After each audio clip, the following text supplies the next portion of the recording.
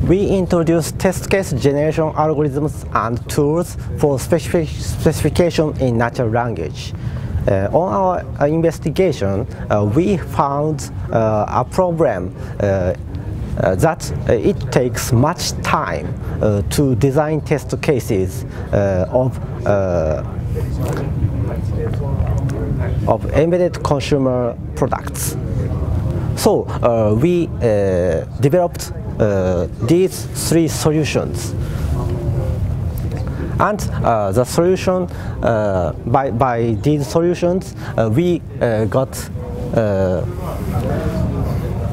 the we got the result uh, to uh, that uh, the accuracy of conversion from uh, system specifications in natural language uh, to uh, the decision table and uh, these three solutions makes testers to easily uh, detect uh, the lacks or ambiguities of specifications. That's all.